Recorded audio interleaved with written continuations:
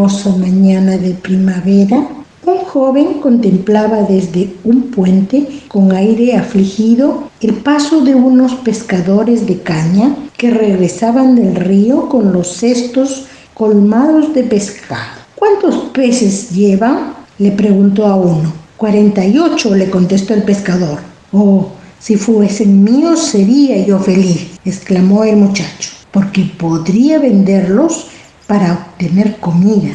Un viejo pescador que aún se hallaba pescando oyó las palabras del joven y le dijo, bueno, yo te daré otros tantos y tan buenos si tú quieres hacerme un pequeño favor. ¿Cuál? contestó el muchacho. Tan solo te pido que sostengas la caña dentro del agua, mientras voy a hacer un recado que me llevará un buen tiempo.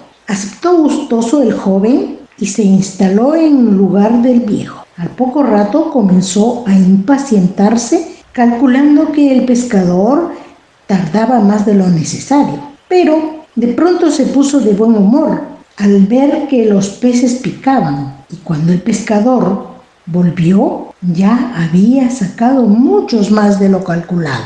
Lo miró el viejo socorronamente y viendo que en el cesto había tantos pescados como el muchacho había codiciado, se los dio y le dijo, bueno, bueno, cumplo mi promesa, aquí los tienes. Y se los entregó. Moraleja, cuando veas a otro adquirir con su esfuerzo lo que tú necesitas, no malgastes el tiempo en vanos deseos ni en inútiles lamentaciones. Echa al aire el anzuelo y consigue los peces con tus propias manos.